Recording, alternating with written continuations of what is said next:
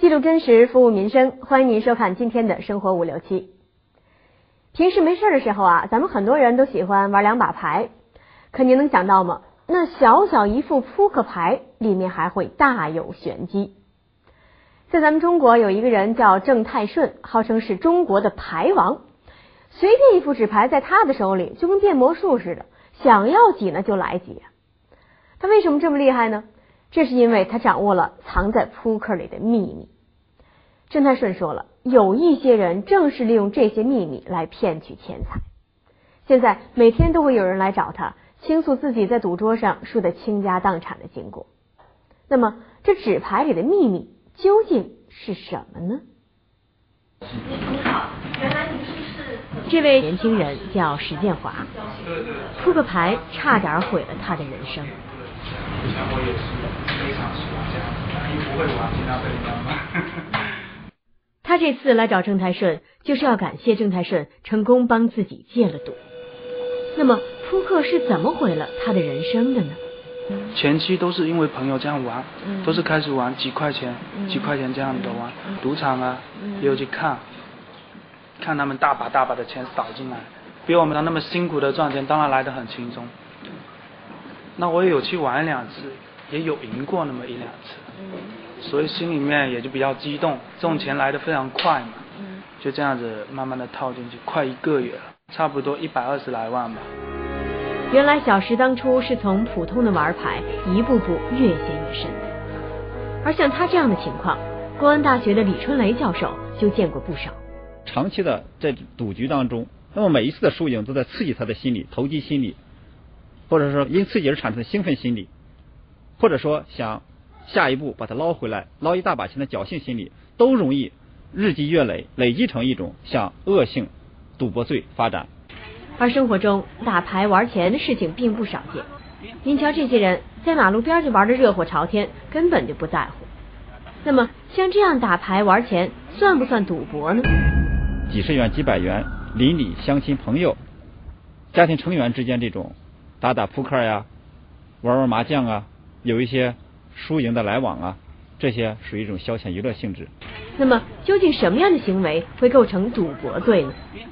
赌博罪是以非法盈利为目的，聚众赌博、开设赌场或以赌博为业，这种行为属于赌博罪。聚众赌博的人数超过二十人的，还有呢，赌资超过五万的，不管盈利不盈利，这可能就会以赌博罪论处。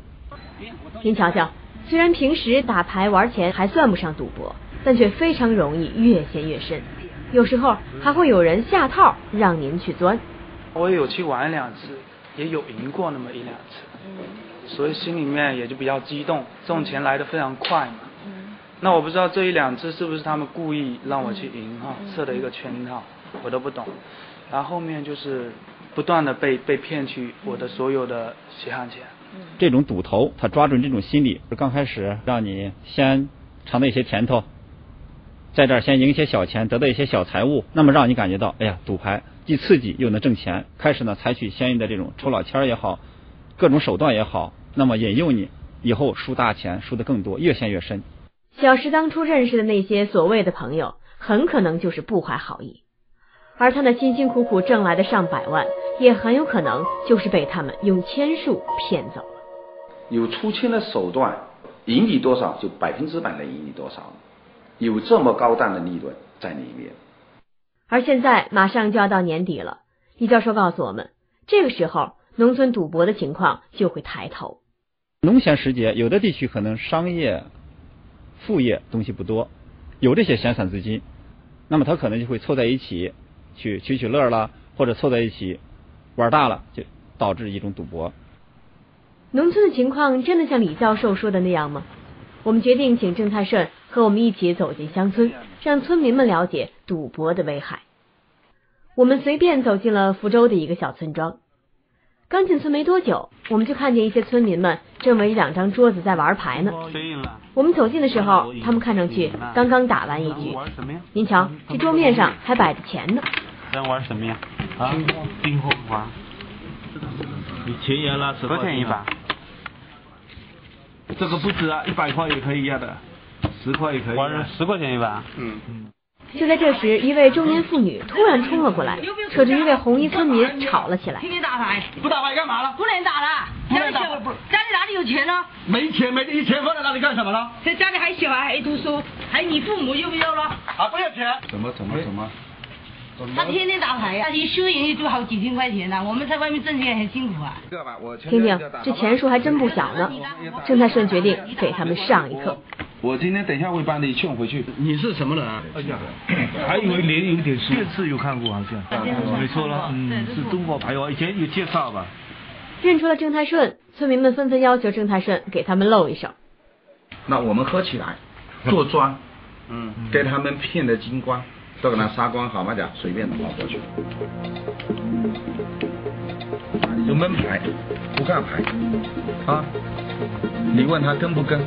肯定要跟。那你打开有三个金赢三个金呢？三个十三，哇，这个肯定要跟。啊，输了再再再收钱。大家都很奇怪，郑三顺连牌都没看，怎么就能知道他们的牌面呢？他又是怎么把这些牌发给他们的呢？赌钱这个东西呀，是太多太多里面作弊的手法跟高科技的手段在。那么赌局里究竟有哪些签数呢？现在社会外面很多啊，什么卖有什么密码扑克、透视扑克，村民们都没有见过这两种扑克，都很好奇。那么这两种扑克究竟是什么样的呢？你们几个先查查这几张，看看看得出来这里面牌吗？你仔细看，但我告诉你，看背后，你仔细看有没有什么不同的地方？看不出来吧？好，我告诉你，你这里数过去第四个字，这个是什么？像不像一字？对。这样像什么？像二，那像二，那可能你就猜它是二了，那可能就是二了。黑桃、红桃、丑花、方块呢？看第几个位置数值的，那就是看第三个。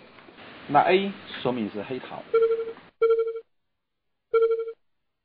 看似普通的扑克牌，却藏着如此大的玄机，您能想到吗？而这只是记号的一种，您瞧。这张牌看的就是条纹，从左数到右，第七条的条纹比别的条纹都粗些，那么它的牌面就是七了。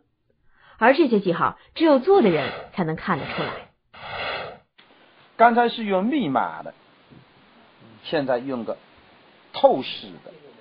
如果说你只要用上这个牌，戴上隐形眼镜，您瞧，这扑克配上特制的隐形眼镜。所有牌都尽收眼底。那么，除了这两种做了手脚的扑克，还有没有什么高科技的手段被应用在了赌局上呢？你们穿的有皮鞋，皮鞋底下只要装有一点点小的针控，现在微型针控探头，反射整张桌面都看得到。哎，他马上给你报，哦，这一户是几点？啊，这一户是几点？赌场竟然有这么先进的作弊工具，让大家都不敢相信。然而，郑太顺就告诉我们，只要赌场里的任何一个物件都有可能已经被做了手脚。您瞧，这看似普通的手机，一对准这扑克，与他们配套的电脑就会把这副扑克牌面顺序以及各个位置的人将会拿到的牌面全都分析出来。只要配合微型耳塞，操作者就能知道所有人的牌。都是什么东西都有，呃我对我的深刻是真的很很深刻的这个印象。赌局里有猫腻赌具，防不胜防，更有神秘签术欺骗您的眼睛。究竟老千如何作弊？请继续收看《纸牌里的秘密》。在见识了有猫腻的赌具后，村民们又有了个疑问：刚才郑太顺明明用的是大伙正在打的牌，应该不会有猫腻。那为什么在发完牌后，他不用看牌就能知道他们的牌面呢？有门牌，不看牌，你打开就三个就赢他。要说不作弊，绝对做不到，但这都是一个首发的作弊的原因。你人格担保这一牌绝对不掺假吗？可以。玩牌前先一般都会洗牌，目的是要把牌洗散。那么完全洗散的扑克里真的能够作弊吗？你们看他这个洗牌很乱了吧？啊啊啊不够乱，再洗啊，再用招叉洗呀啊，随便打不要误输。八八底你这边先做，你做。要四个十还不简单，是吧？抓五将就抓到了。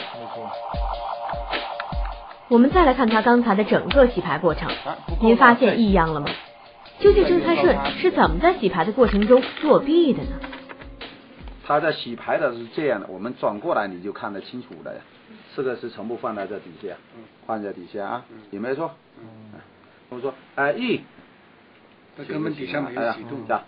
二三，搁三张。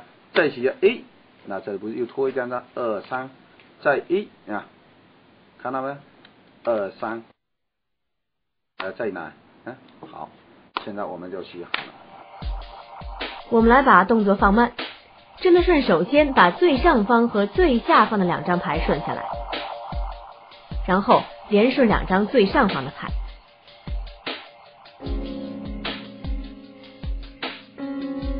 这样的动作，他一共重复了三次，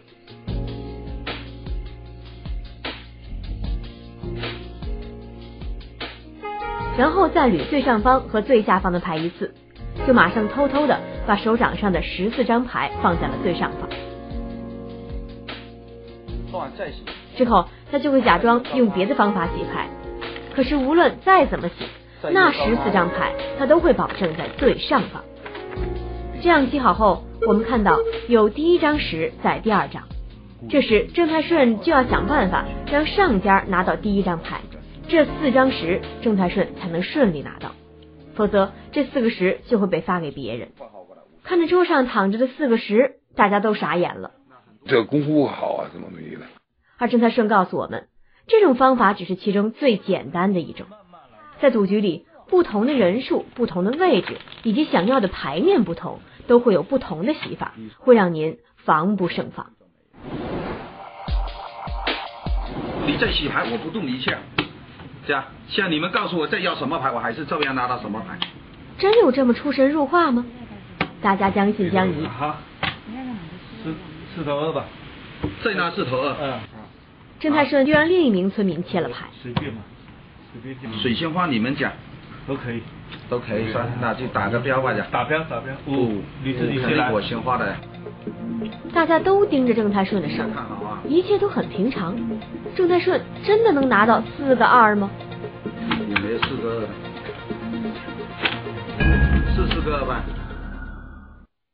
哎呀，简直是太不可思议了啊！明明牌是自己的，并且洗牌和切牌也都是自己人，郑泰顺怎么也能拿到最想拿到的牌呢？并且在三双眼睛死死盯着他的情况下，他又是怎么做的手脚呢？这其中也是大有文章的。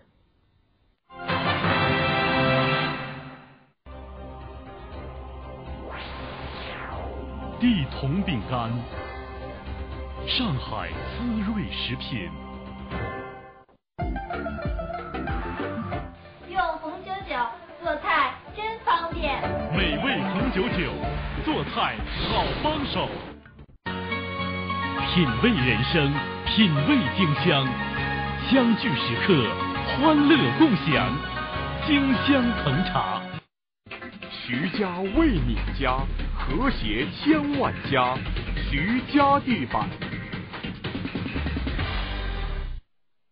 一种生猪复合饲料，国家专利，重点推荐科学产业布局，合作立体开发，现隆重招商，招商热线零七四四六二三二七零零。紫茉莉里出美人，紫茉莉羽绒被。诚信沙发床垫，诚信品质，大家品味。山东菏泽。赌局里有猫腻赌具，防不胜防，更有神秘签术欺骗您的眼睛。究竟老千如何作弊？请继续收看《纸牌里的秘密》。牌是村民们洗的，也是村民们切的，而郑在顺就只是发了一下牌，那四个二就成了他的了。究竟他是如何做到的呢？你们眼睛就好像说认为说面上发出来是一模一样，其实大家在发牌的过程就不是这样的画。比如说你明明看了这张牌是个三点梅花，那三点梅花，他不要这张梅花三怎么办？我想要其他牌，他慢慢的要个其他牌，你盯着看哈，不要梅花三，那梅花三还在这里。也就是说，在发牌的时候，郑太顺会从厚厚的纸牌中间抓出自己需要的牌。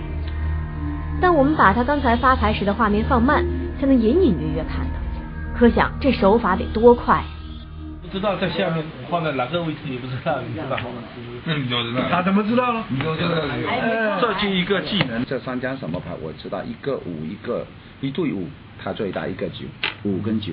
那底下知道呢？底下这张什么七点？底下这样黑桃七。那第五张是什么牌？没有出来，先告诉你，第五张是红桃，叫红桃四点，一、二、三、四，红桃四点。要说像你这样牌跟他闷牌被人家知道，难道你还不输？我这张就半公开告诉你们所有人，跟他发牌花看到这张七，看到这张九，明显。原来郑太顺在发牌的过程中，利用了这种方法偷看了下方的牌。他告诉我们，如果要看到上方的牌，又会是另一种手法。让我们吃惊的是，其实我们知道了他在偷看牌，在他正常给我们展示的时候，我们仍然看不出任何破绽。十。这样也是十，然后三七七，叫三七七。郑泰顺还告诉大家，现实生活中一些可以反光的随身用品，也会被一些人利用来偷看牌。大家发现，无论洗牌还是发牌，郑泰顺都掌握着主控权。那么，如果不让他洗牌，也不让他发牌，而是采用抓牌的方式。那么他还能拿到自己想要的牌吗？可能是看出了大家的想法，他又让村民们洗牌，然后在一个本子上写了一个电话号码。八，我等一下抓出来的也就是这个数字的号码。既没洗牌，又不是他发牌，他真的能抓出他所写的号码吗？这里面的数字跟这里面看对对看是不是准确？看清楚了，我把这个号码递给你。大家都不敢相信自己的眼睛。那么郑太顺是怎么做到的呢？大家请求郑太顺再做慢些给他们看。我做个九出来，做个九，抓个九。在上看这些是九吗？首先告诉哈。肯定不是，肯定肯定不是嘛。三九九这个东西，我给你靠一定的手啊，酒那酒就把它九出来。那你怎么知道这样像是？这个酒肯定要知道在哪里，我才能抓。原来牌是从中间抓出来。那我去抓的不。可是这样抓牌，并不像发牌时，牌会一直在他的手上。他每次接触到牌，都只有短短不到一秒钟的时间。他又是如何知道这些牌所在的位置的呢？只要我有碰牌，我们都。可以做得到，都可以看得到。我们发现，在刚才抓电话号码的牌中，只有在村民们洗完牌后，郑太顺曾经较长时间的碰过牌，而这个过程也就短短的几秒钟，他就已经通过特殊的手法偷看完了整副扑克，并记住自己想要牌的位置了，然后再靠特殊手法一张张的把他们抓出来。哎，以前在电视上面看了，可能有点质疑，哎，真的有这么神吗？现在今天亲今天亲眼目睹的看一下，真的很神。所以要感谢这个郑老师，在我们这村里面哈，其实教育我，教育了我，以后也不会再再去赌了。只要你们今天我给你们讲了，不会再赌了。我今天到这里来也没有白来了。谢谢郑老师。